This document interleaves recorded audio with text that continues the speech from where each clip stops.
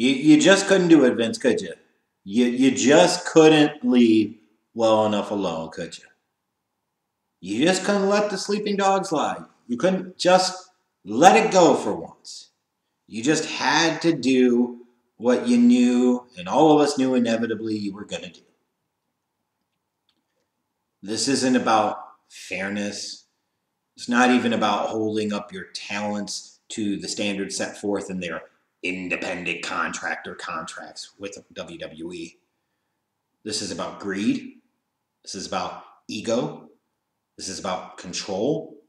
And this is about power and manipulation over the careers and lives of your alleged independent contractors. That's all this is. It's the ultimate in grossly, pathetically predictable power plays if you've ever seen it. Now, certainly most of you that have clicked on to watch this video know exactly what I'm talking about, and that is WWE meant business. They were serious about this Twitch and Cameo situation and saying, you're going to surrender over those accounts to the control of WWE. They meant it. And apparently are even distributing new talent contracts involving language to that effect. Just couldn't let it go. Now, as I said in the video a week or two ago talking about Vince saying no to third party content, if Vince's issue was that you can't go out there using a WWE owned intellectual property, like your ring name, your WWE name, and use that to profit from outside of the scope of WWE without giving us our cut, I agree. Like, that's fair. Totally fair.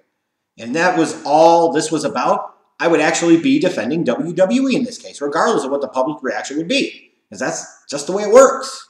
You know, goes well beyond fair use at that point in time, that's for sure. If this was about things such as we don't want people spilling secrets out there for public consumption that weren't approved by us. I also get that.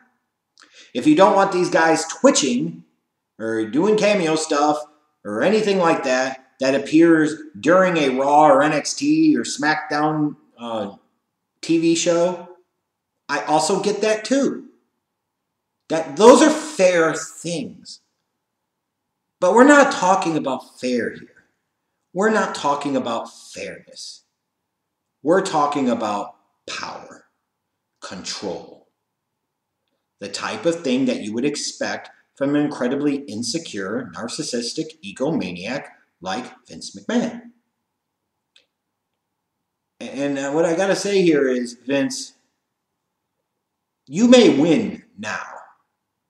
You may get away with this now, because you certainly will, because the talents, your independent contractors, won't have the nuts, won't have the guts, won't have the cojones, the balls, the grapefruits to stand up to you on this. They should, but they won't. They'll capitulate like bitches. We know it's coming. We know it's already happening. You may get a short term victory here. But this might be an example of not reading the read of the room and could really lead to being the straw that broke the camel's back. And as a result, creating some long term negative consequences from your perspective, at least, uh, that you may not have anticipated. So be very, very careful with this, Vince. Because you might think everything is copacetic and kosher right now, but that doesn't mean it's always going to be the case. And look, like, here, here's what I don't get is why is it so important to have to control every aspect of these people's lives? Like you're trying to build in language into the contract that you not only own their WWE ring name, but that while they're under contract, you own their personal name. Like that goes beyond independent contractor stuff. That goes even beyond the average typical employee employer contract, which we all know significantly what WWE does and the relationship it has with its wrestlers, its independent contractors, is way more on the side of employee employer relationship than it is just the standard independent contractor type of deal. independent contractor means truly an independent contractor. There's some entrepreneurialness there. There is some risk associated. There is the ability to go off and do other things. You don't have any of that with WWE. You can't wrestle anywhere that they don't agree to. You can't wrestle anywhere that they don't approve to. Like that's not independent contractor. That is employee employer all freaking day long. It absolutely is. And the fact that WWE and Vince McMahon have been able to get away with this for generations is absolutely sickening. But of course they have, because nobody's ever taken them to task for it. That might not last forever. And for those that are going to sit there and say, well, what's the big deal? These wrestlers, I don't want to hear about these big babies with their big contracts, you know, sitting there whining because Vince is trying to take control of this. Let me put it to you this way. A lot of these wrestlers, especially the ones that did Twitch, they ain't making as much as you really think they are. Like even if you said, okay, the average, the, you know, the lower level talent makes 100K a year. Okay. But the effective salary is significantly less. Because you got to factor in things such as they've got travel expenses that the company's not comping them for, that the company's not paying them for, because again, they're not employees, they're independent contractors, things like car rentals, things like hotel stays, things like air travel. Company's not comping any of that, all of that, or even some of that. So, how impressive does that $100,000 look? If you're working a shoot job right now, making 50 or 60K, your effective salary is just the same as not better as a lot of these people that appear on national television. Because not only that, you got to factor in with them as independent contractors. That means Vince in the WWE avoids paying a certain level of taxes on things such as Social Security, things such as unemployment. Like the independent contractors are on the hook for that, so their tax bill is significantly larger than the average Joe Schmo employee of a regular company, a regular corporation. And then you also got to think about all the money the company saves by not offering their talents things such as pensions and 401ks and matching and all of that stuff. You know, so when you think about effective compensa- compensation and when you think about, you know, how much you might make in your real world job compared to a lot of the wrestlers and a lot of that roster, you might be surprised and disappointed and realize, oh, damn, now I get it. For some of these people on Twitch, if they were making an extra five, ten, twenty thousand dollars a month. That was their real money. Wrestling was the platform to build a name, get a following, to come over here to make your real money. And that's kind of what it is. And beyond all of that, not only is Vince trying to take these accounts over, not only is he going to do inevitably what WWE does and ruin all of it, he's making an entirely different play. The reports are that he's trying to build in contract into the language that this will go against their downside guarantee. And downside guarantee, think of it as basically this is what you're guaranteed to make throughout the year, no matter what. That's your downside. Uh, but as you go through the year, like if you get payoffs from live events and shows and merch and all of that, like you could make more than your downside guarantee, but the downside guarantee is kind of like your your floor. Like that's what you know you're going to make no matter what. And throughout the year, you're drawing against that to get up to that or more so. You want to get obviously above that. But what WWE is trying to do here is not only take over these revenue streams for their talents, not only are they trying to take ownership of this, they are basically trying to rob directly from these people that are not their employees. These additional revenue streams, fold them into the WWE's coffers, and oh, by the way, have that work all towards their downside guarantee. What type of bullshit is that?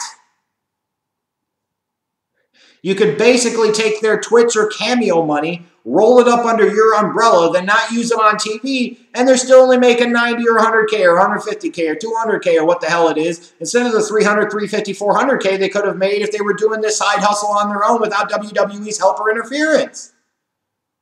that's just mean, man. That's just bullshit. Damn you're fraudulent, especially when you're talking about the constructs of an independent contractor type of relationship. The best way I can equate that type of scenario to you guys that may not be fully following the logic, let's say you got a main hustle, your main main employer, and you make, let's say, 50K a year. Okay. It's not great, not terrible, you know, just kind of middle of the road, but enough to live on. You make 50K a year. But you realize that you have bigger goals, bigger visions. Maybe you have a family, you want to get a bigger house, you want to pay for college, you want to do these different things. So you go and get a second hustle, second job. And at that job, you're going to make 10000 in the year, or maybe 15000 So now you're thinking in theory, okay, what once was 50000 for one revenue stream, income stream, is now 60 to 65K for two income streams.